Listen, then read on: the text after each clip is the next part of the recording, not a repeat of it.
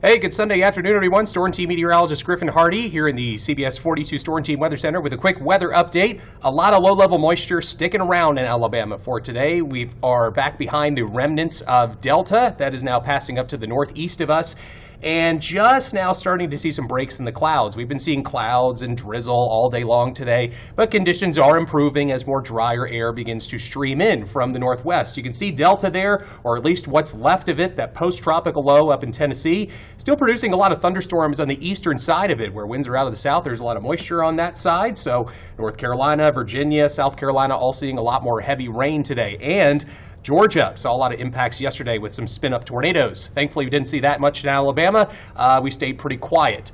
Uh, part of the cloudy skies, rest of the night tonight, clouds gradually clearing out. We'll see more sunshine than not starting tomorrow, and temperatures tonight staying pretty warm thanks to a lot of that moisture sticking around. It's going to be pretty muggy out there, only cooling down to the mid 60s tomorrow morning.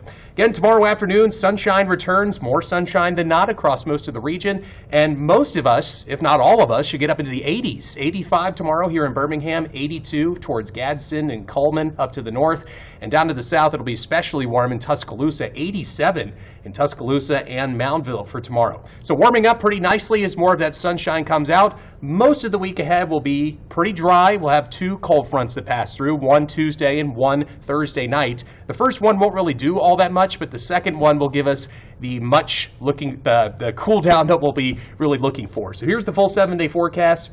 You'll notice the cooler temperatures in the morning, early in this, early in the week, but uh, in the afternoon it's still going to be pretty warm, with most of us seeing highs in the 80s. Then a couple morning showers Friday with that bigger cold front that passes through, and Saturday and Sunday next weekend looking gorgeous, a lot of sunshine, feeling very much like fall for next weekend. That's your forecast. I'll have another look at it tonight at 10 on the CBS 42 News at 10. Otherwise, have a great rest of your weekend, everybody.